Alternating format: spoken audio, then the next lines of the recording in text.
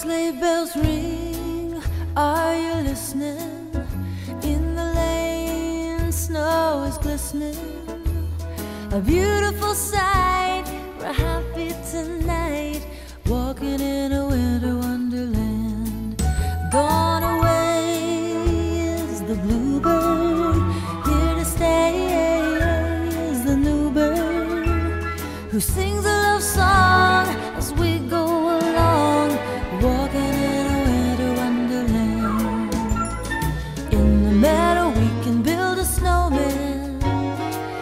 pretend that he is Parson Brown.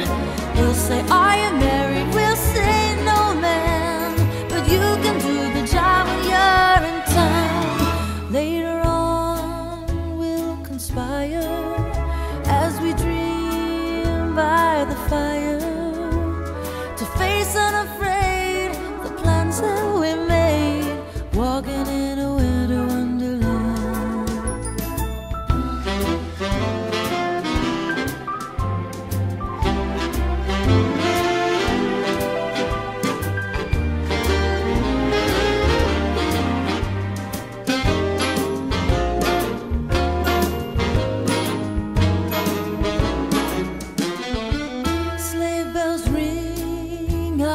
listening?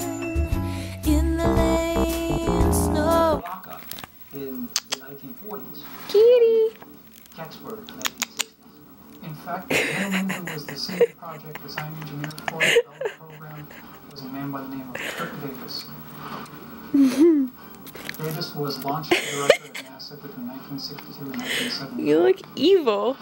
This is the bombshell we've been waiting for. Kurt Debus, an electrical engineer who actually was part of Project Riese and the Glocke, comes to America to work for NASA. No, don't go away. The launch director of NASA in the 1960s, just when the event at Kecksburg takes place in December 1965.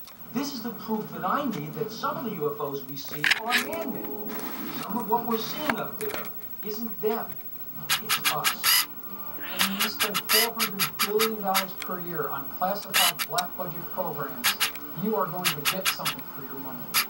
And where would you keep those black budgets? You would keep them at Edwards North Base Complex. You would keep some of them at McGill Air Force Base. You would keep some of them at Wright-Patterson Air Force Base. Remaining craft are at the remote test site in Nevada, at Area 51. Area 51. It's curious that many of the Nazi scientists that came over as a result of Project Paperclip all wound up in New Mexico, Texas, and Nevada, all of which are UFO hotspots. Mike Schratt was really something. If you see what Schratt showed us, and you look at the plans, the details, the designs, I mean, there's no disputing that the Germans really were 25 years ahead of everybody else. Were the Germans actually